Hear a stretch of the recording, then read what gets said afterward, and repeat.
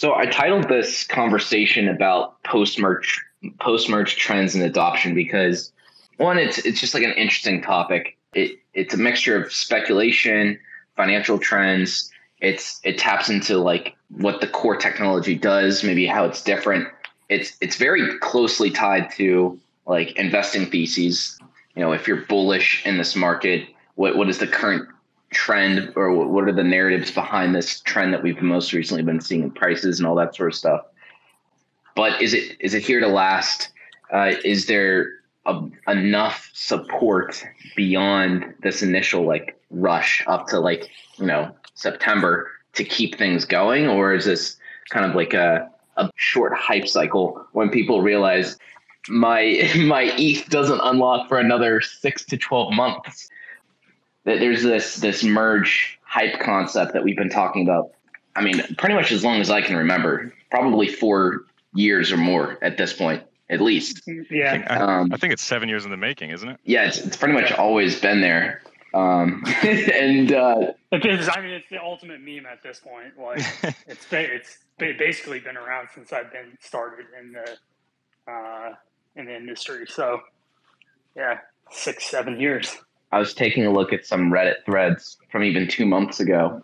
Like this two months ago. So this is in the summer and people are still debating. Yeah, they said it's going to happen in Q3. Not no chance. They've been talking about it for so long. There's no no way.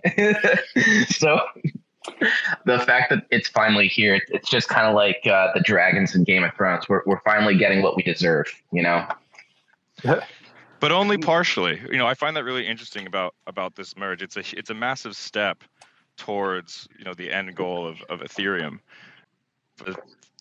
two steps after that that really unlock what is possible here. You know, this sets the foundation for, you know, as you said, Mitch, you know, unlocking um, any of that locked up Ethereum um, and also bringing gas prices down.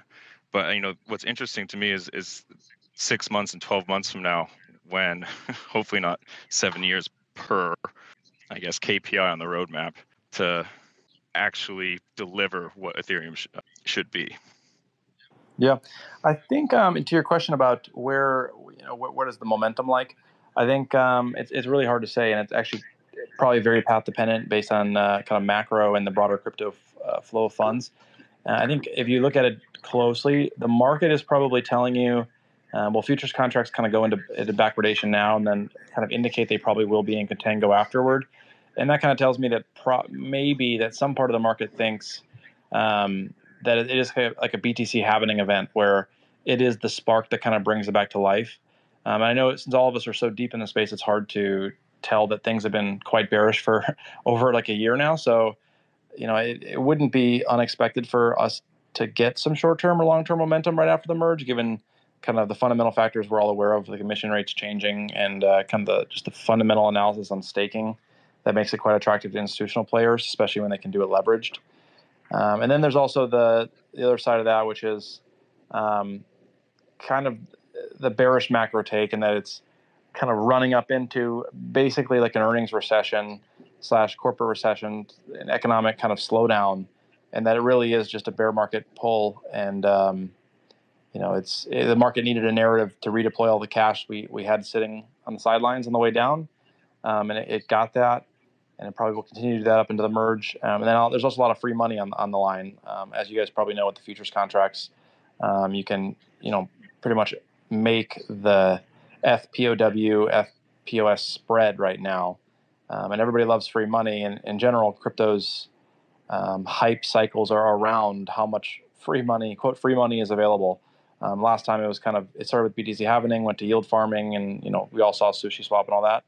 This time it's um, some really intricate plays around um, kind of uh, kind of you making money on the proof of work ETH chain, and then also capping the spread, and then also the fundamental analysis of ETH potentially becoming a better investment going forward. It's a lot to be excited about. Not to say it's anything more than a narrative, but um, so yeah, I'm, yeah, I'm kind of split.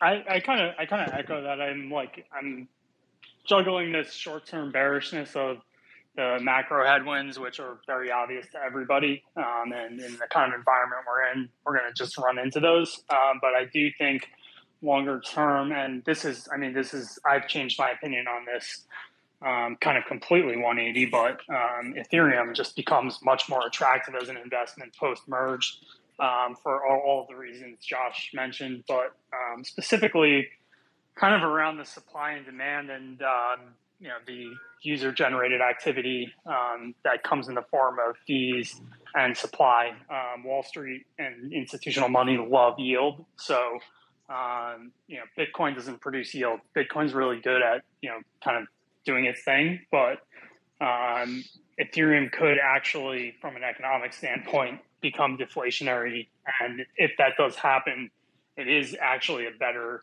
um, I guess, mousetrap than Bitcoin at being Bitcoin. So um, that thesis, I think, is not talked about enough. And I think, you know, we're also deep in the weeds that I think we kind of lose sight. There are a lot of people that are not aware or um, still don't think the merger will happen who are actually intelligent investors. So um, I don't, you know, it's um, kind of mind blowing to be in that camp, but um, all that is to say, I don't necessarily believe it's priced in um, over the long run.